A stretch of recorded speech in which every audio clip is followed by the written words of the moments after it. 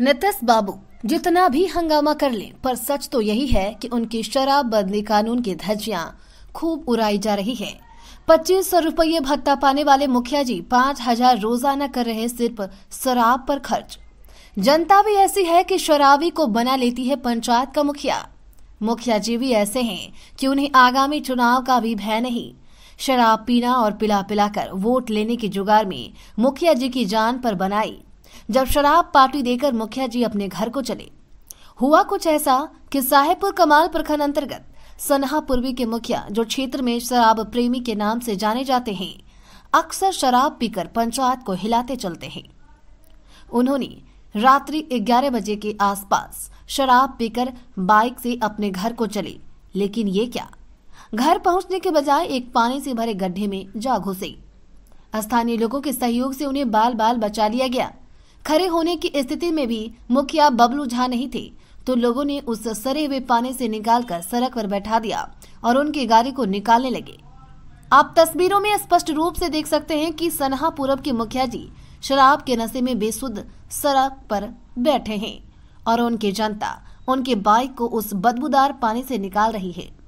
सूत्रों से मिली जानकारी के मुताबिक मुखिया जी शराब पीने की वजह से पूर्व में भी जेल जा चुके हैं।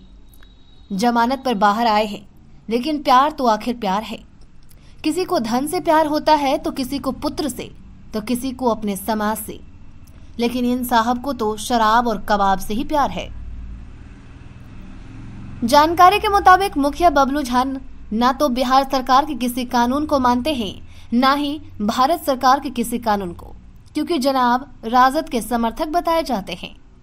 अब सवाल उठता है कि आखिर क्यों लोग ऐसे व्यक्ति को मुखिया चुनते हैं जो शराब पीना और पिलाना ही विकास समझते हो। आखिर सनहा पूरब की जनता चाहती क्या है? शराबी समाज या शराब प्रेमी समाज? Bureau report BD news Bihar. हो तो तो? आदमी आरो छै। हला हला टॉर्च गाड़ी घीचो गाड़ी घीचो। मुखिया आदमी कितना छै खाली। बना। गाड़ी घिचल घीच घीच के हे तै पकड़ पकड़ पकड़ पकड़ पकड़ो पकड़ो पकड़ो पकड़ो न टॉर्च बार नहीं छै नहीं समझ में है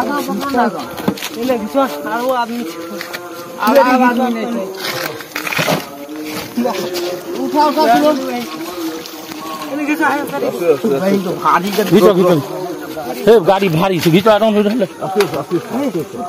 रोक रोक रोक रोक पहले रोक